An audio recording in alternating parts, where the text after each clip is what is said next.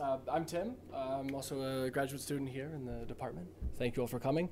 Um, so Manuel, where he went, Manuel, uh, there he is, uh, was talking to us about many different things. I'm introducing the, the topic, and I'm going to focus on on violence. Um, we're going to start with a video to kind of set the kind of set the scene about what we're talking about, because we're going to talk about violence in video games and like the social reaction to it. So this will be much more of, a, of an active uh, segment of the of the symposium. So at the end, I'll have several questions that I hope will uh, spark discussion, maybe not debate, but certainly discussion about um, video games, not video games' role in society so much, but um, the, the effects of, of violence and what we think video the violence in video games, how that affects society, and what we think society in general thinks about that. And then we'll take a look at um, what um, people who study this type of thing, what they have to say about violence in video games. Okay, so we're going to take a look at this video. It's a couple minutes, uh, kind of set the stage a little bit. The final three victims from Sandy Hook Elementary School buried today. The National Rifle Association has come out to say that the real problem isn't guns, but instead violent video games. So we wanted to know, is there really a connection between virtual violence and real-world violence? ABC's Neal Karlinsky got some answers. Thomas Pantig and Stephen Lloyd are typical of many in their generation. Good jobs by day, obsessed with a violent so-called first-person shooter called Call of Duty when they get home. But is this just good fun, or is an entire generation being trained and desensitized to the act of shooting people? And just some people just go crazy. Dr. Chris Ferguson has conducted a series of multi-year studies of 11 to 18 year olds to find out what violent games do to them. There's no evidence to suggest that exposure to violent video games uh, is associated with violent criminal behavior. But Dr. Victor Strasburger says today's video games are more real, more intense than anything that's come before. Kids spend an incredible amount of time with the media. They see increasingly violent media. Why in this country would we spend $250 billion a year on advertising if we didn't think advertising affected people? So who's research to believe? Who to judge? The U.S. Supreme Court already has. In striking down California's attempt at a violent video game law, the court had this to say. These studies have been rejected by every court to consider them, and with good reason. They do not prove that violent video games cause minors to act aggressively. Bonnie Ross, a mother of two young children with her own concerns, also happens to run one of the most successful first-person shooter games around, Halo 4. What do you say to parents who worry it's, it's too violent, it's not good for the kids? What I recommend is your kids are going to play games, play it with them, you know, so that you can really be there to answer questions and, and help them through that. Advice from an insider. Whether you like it or not, kids are playing these games, and it's up to the parents to understand them. Neal Karlinsky, ABC News, Seattle.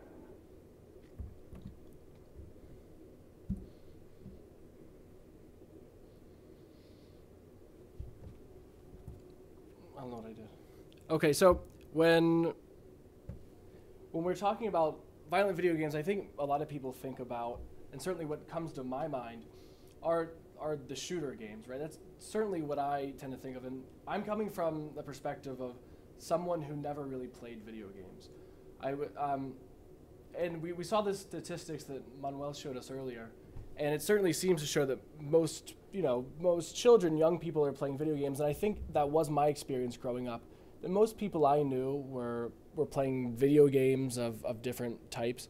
I can remember, you know, in in high school, or yeah, high school, for example, you know, going to friends' houses and kind of feeling the need to participate. I can actually remember playing, um, um, like Halo, for example, which was a very popular game in the early 2000s, mid 2000s. I can remember playing that, um, and I can I can remember, you know, my, my brothers as well. I, I have three brothers, and they all played video games, so it certainly supports the statistics Manuel talked about. And the the interesting thing was that these video games were generally had had violent content in them. Generally, they were combat-based games. Um, but I never, I certainly never saw anything that led me to believe that these games cause uh, cause violence. or have much to do with it. But um, it was certainly it was certainly interesting to see that most people I knew were playing games, video games, and they almost always had had some sort of violent content in them.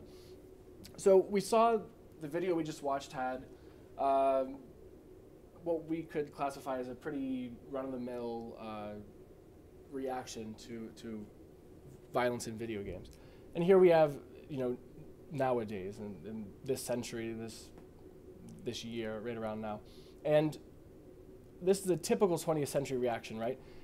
People saying that these video games encourage active participation.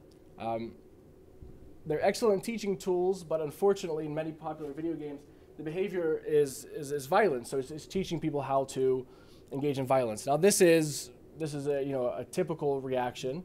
This is from 2013, okay, from a professor at the University of, of Missouri. So a typical reaction that we could find today. Okay, and here's another example, another typical reaction to violent content in media. This is a story in the Telegraph of London that talks of the arrest of a young burglar who confessed that he was led into crime by reading a book, The Life of a de- de- de- Detective. That's what, that's what he said. And the, the story goes on to talk about, as a matter of fact, the book seems to have stimulated rather than weakened the criminal propensities of the precocious student. Detective literature is injurious, and it is curious that detective stories are among the favorite books of youthful criminals. So this is a story from a, from a newspaper in London. The only difference is this is from a different century. This is from 1890. So as far as our reactions go, um, related to violent content in media, they don't seem to have changed much in 120 years.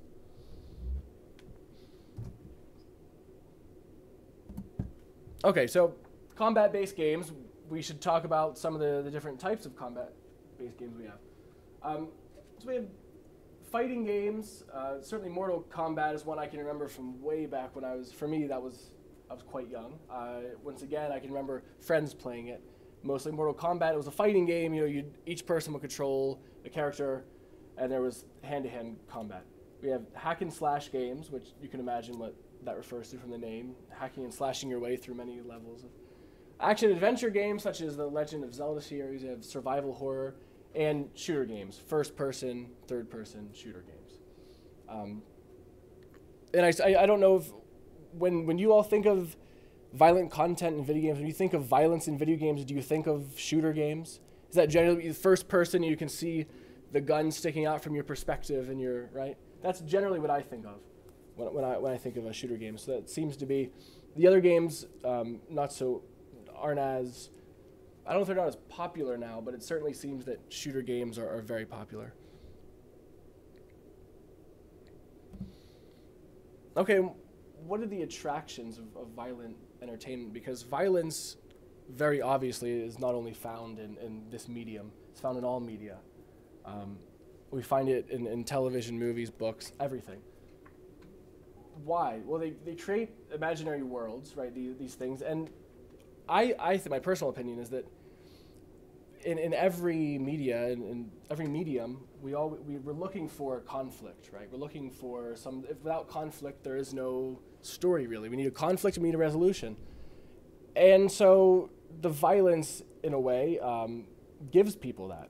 Okay, it's an abstraction of the real world, and it gives people excitement and adrenaline. It gives them that the feeling of adrenaline that I think people really crave.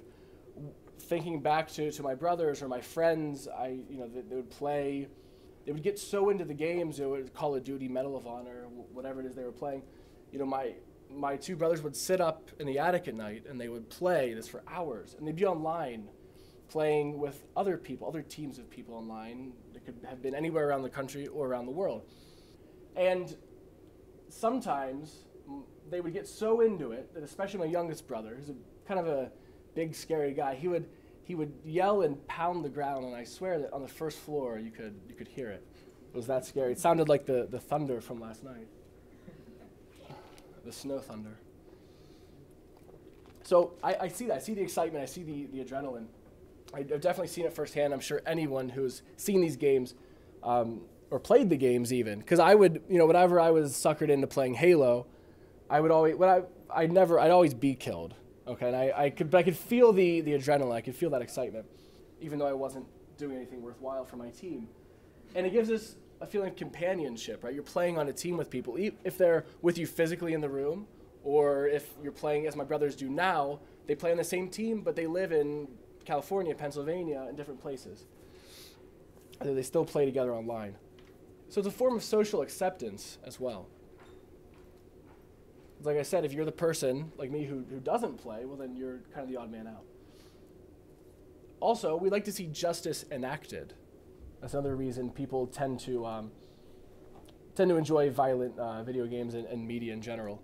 See justice enacted, and also this article by Jeffrey Goldstein talks about masculine identity and the fact that engaging in these sorts of things and this sort of media is a, an affirmation of masculine identity, and this is a way that we uh, that, that young men can can reaffirm that. Okay, so let's look at some examples that maybe we've all heard of. These are two, I, I think, for me anyway, two of the most popular, two I've certainly heard of. We have the Grand Theft Auto series, which I can remember from when I was a lot younger because it came out in 1997, which has been out for a long time now. And this is an example of an open world game. And I, correct me if I'm wrong, but I think it's getting more and more developed to the point where you can interact with so many different aspects of the gameplay. And I think that people have a problem with that because you're not you, you don't necessarily have to your acts of violence don't have to go towards you completing the mission. It could be completely i don't want to say gratuitous but it could be you could act out violence in any any way you saw fit. And it's been criticized for its violent as well as its sexual content we have the call of duty series it's uh, debuted in 2004 it started as a world war ii combat game and i think it's moved more and more modern and this is a game where, of course, it had missions and, and things, missions to accomplish in a, a game, the game you could win. But that I, from what I saw, in my experience, it was mainly people enjoyed playing the, I don't know what you the multiplayer online, that, that part where you would play against other people on the internet. Okay, now we have two more examples. We have, I'll start here with the, the Postal series, which started again in the late 90s. It's another first and third person shooter that from what I read, really seems to lack in a lot. I don't. I don't know if it lacks objectives, but it's. It seemed to be that it was very much open world, and, and gamers could could really um, commit acts of violence on any other like any character in the game, and that was you know a lot of a lot of controversy because of that. There wasn't as much controversy as with the game on the left, Six Days in Fallujah. Um, and you can see the picture. On the picture says, "Should this be a game?" It asks that question. This was a game that in that was being um, developed in 2004. It was based on an actual an actual battle that the second battle of Fallujah, and Konami, which is a, is a very big name in video game production, was producing the game, and it came under a lot of fire uh, due to the fact that it was based on a real battle where, you know, soldiers had had actually died, and it was very fresh in fresh in the memory. And in 2009, under immense pressure, Konami actually dropped the game, and it hasn't been released. It hasn't even been finished, as far as I know. So those are two more examples. Okay, so are video games the culprit? Do video games cause violence? Well, the, the closest thing to that statement I could find was something along the lines of this uh, short term violence. It, it, can kind of stir hostile urges, as the New York Times put it, and mildly aggressive behavior, but in the short term. And I couldn't find anything that, that at all about anything longer term, producing longer term effects. So, uh, youngsters who develop a gaming habit can become slightly more uh, aggressive, at least over a period of a year or two of a year or two. So it, it seems to be, if at all, it, and I wouldn't, I don't even know if it could a year or two if I'm very convinced by that, but maybe in the short-term hostile urges, but but but I'm not not so sure. But that's what the New York Times had to say. We have a couple theories about aggression in general. So we have the catalyst model, which says that aggression is due to a combination of things. Okay, it's due to genetic risk, the environment, um, stress, and antisocial behavior. Media influences are too weak. They too weak to have much influence.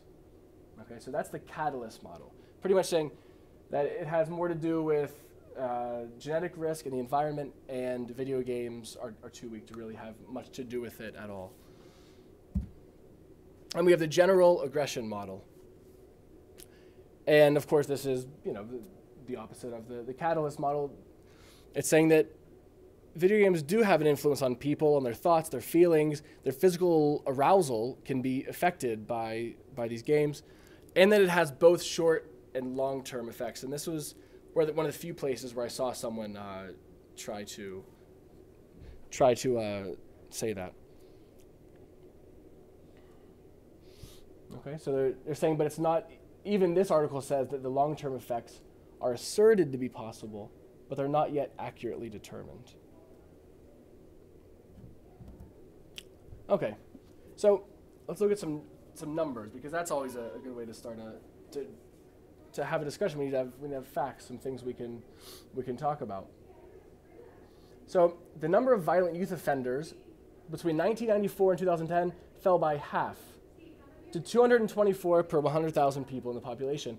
Okay, during that same period of time, more or less, video game sales have more than doubled. So whereas we've seen less acts of aggression by youth, video games video game sales have, have soared, they've doubled. Okay, since 1982, there have been 61 mass murders uh, by firearms. And of the 11 deadliest shootings in the US, five have happened from 2007, since 2007. And there hasn't been some new advancement or some new gaming invention, new, new kind of game since 2007. So this would seem to suggest that the amount of of, of violence or, or acts of violence carried out is is not related to, to video games at all. Okay. And we have this graph here. We have what we can see here. This is um, violent acts, assault deaths per 100,000 people in the population. This is the United States, and there we have several other countries. Okay, so here we are. Yeah. All right. Deaths by assault. We, we two things we can conclude. Two things that the U.S. is generally, maybe not a more violent country, but they're more violent acts than in other countries.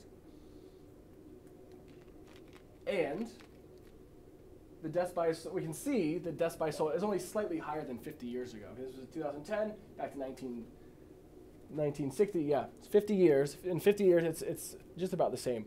And if we're talking about video games in the way that we can think of them today, I don't know when would it be the, the 80s that we start to see video games really in the way that we think of them today? 90s even? Yeah. Okay, so now, as I said, this is more of a participatory part of the symposium, so hopefully maybe these questions will, will I don't know, spark a bit of uh, conversation. Um, so I guess I'm interested in uh, the difference between violent content in, in this medium versus other media and why and why video games always tend to be the scapegoat. That's what I'm interested in. So I don't know if anyone has an opinion about that. What do you think the difference is between violence in video games versus violence in, in movies, for example? Mitch? I think maybe because the video games, the person is more involved. You're actually the one doing the violence. You're that. You're the person shooting or you're the person hitting. While in media, in other types of media, you're you're just watching, so you're a little bit distant. To Yeah. More of a, a passive versus a, an active role. Same. Yeah. Anyone else? Any other? I mean, so another question would be at, at what point, and I, at what point can violence could be labeled as excessive? But I, that question is kind of redundant, I think, because um, we have video games where you act, you can kill people. I mean, what it can't get much more excessive than that, I guess.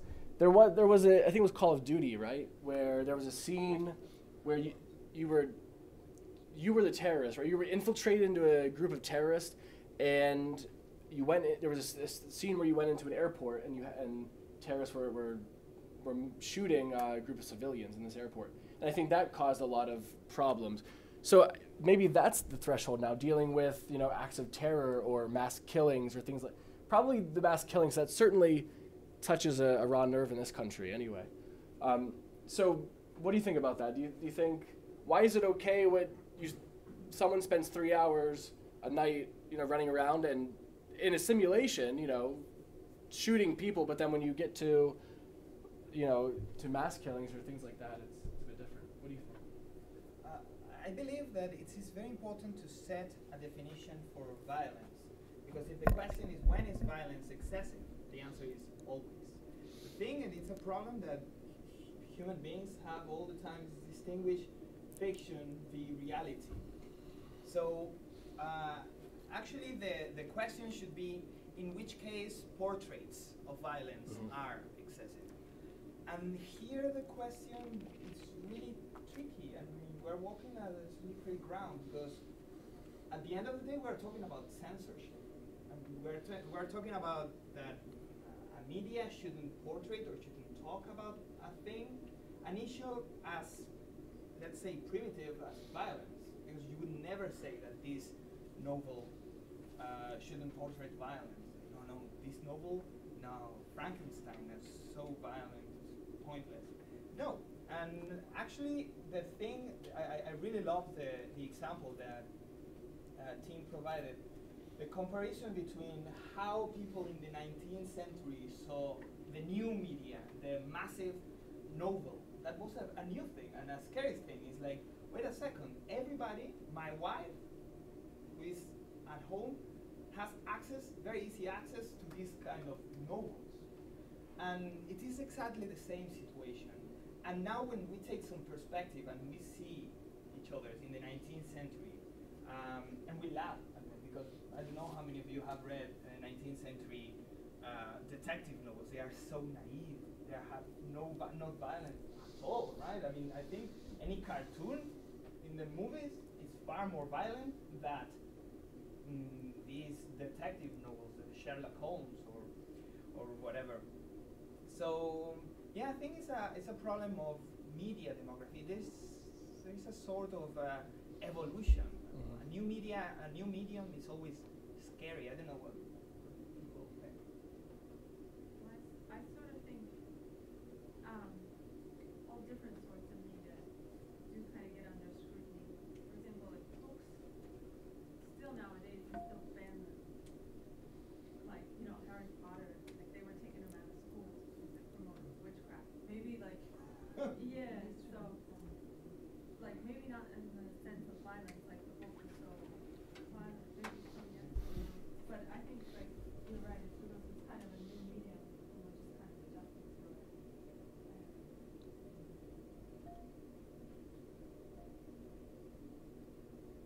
Yeah. Going back to the first one, I think there's some kind of visual MSG that these video games have, Uh-huh. right? Dr. Beta was mentioning that, you know, you have more, the length of time is different, you know, from a movie. You know, there's a, this addictive thing to it, right? Like you, Yeah. you, it's more accessible to you. It's something that, I mean, a movie you may like it, you may watch it 20 times in the course of your lifetime.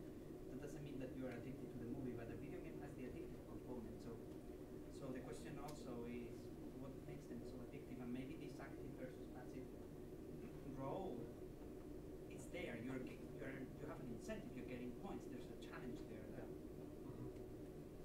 Yeah, absolutely. Yeah. Anyone else? Um, I wanted to comment about the terrorist part that you mentioned because sometimes because that's that's apparently what What they're objecting on now.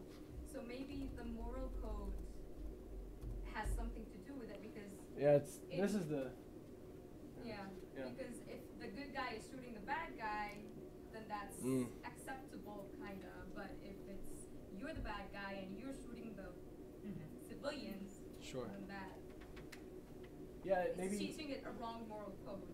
okay so okay I the lesson the game's teaching sure. Yeah. Well, do you think maybe that's a problem with the game like uh, Grand Theft Auto, for example, right? I might be wrong again, but uh, generally, aren't you some sort of You're a bad guy. member of the underworld, right? You're a bad guy. Okay. So, do you think that also has anything to do with it? The game's obviously hugely popular, so. I I think it definitely it is a cause of why uh, people are so concerned about this. But I think it's it's not alienated from any other ways of playing. I mean, I don't know. Very common thing was to play cowboys. You are the genocidal cowboy, and you are the minority. And who is the bad guy? I mean, both are bad guys, and somebody has to be the bad guy. And actually, that's part of a game, right? So, I, I really don't know. I think it's not that exceptional. Video games are not as exceptional. It's more As- the way we see them. But do you think they are portrayed as exceptional? That's the way the Yeah, the yeah, media. yeah. Yeah. hmm Yeah. Uh, Yeah. Um. So yeah, that's probably about it now. So we can yeah, let's stay on time. After uh, Ram's presentation. Yeah. So Okay. Well, thank you.